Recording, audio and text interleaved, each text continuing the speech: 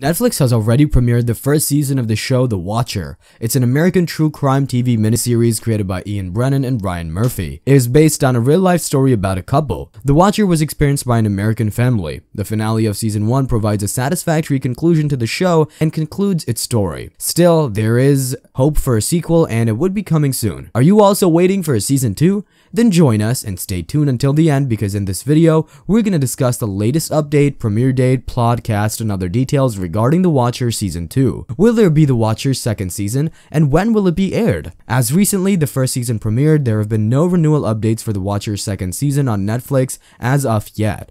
For now, let us wait a couple of days to analyze how famous this new series is. If renewal happens, The Watcher's second season should be available by the end of 2023.